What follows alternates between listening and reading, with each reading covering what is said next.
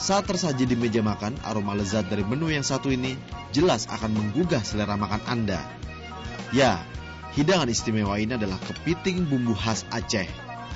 Hidangan berbahan kepiting ini memang memiliki cita rasa berbeda. Kekayaan rasa rempah-rempah yang khas dari daerah Serambi Mekah sangat terasa di lidah saat Anda mulai melahapnya.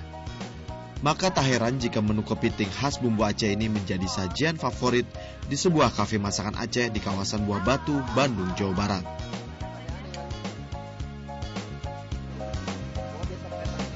Kenikmatan kepiting bumbu Aceh ini semakin lengkap rasanya jika disantap bersama minuman khas lain berupa teh tarik. Proses pembuatan kepiting bumbu Aceh ini memang tak berbeda dengan proses pembuatan masakan kepiting pada umumnya.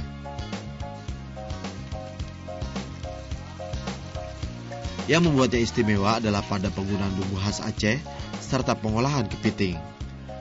Hampir seluruh bahan bumbu yang digunakan didatangkan dari Aceh, sehingga memiliki cita rasa yang berbeda.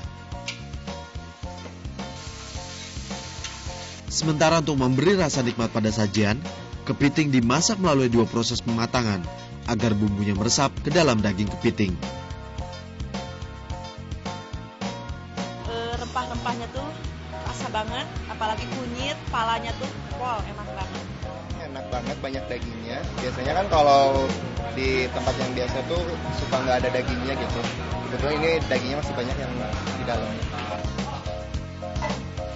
Untuk memenuhi keinginan para konsumen, pihak pengelola menawarkan dua menu istimewa kepiting bumbu Aceh, yakni kepiting bumbu merah serta bumbu putih. Kenapa itu ada dua macam? Karena kan kalau orang senang pedas, pasti dipesan yang merah. Kalau memang nggak senang yang pedas itu yang putih, itu tidak pedas karena nggak pakai cabai. Jika Anda ingin merasakan nikmatnya mengunyah daging kepiting bumbu Aceh yang gurih ini, Anda tak harus merogoh kocek dalam-dalam. Hanya dengan Rp30.000 saja, seporsi hidangan kepiting akan segera tersaji di meja makan Anda.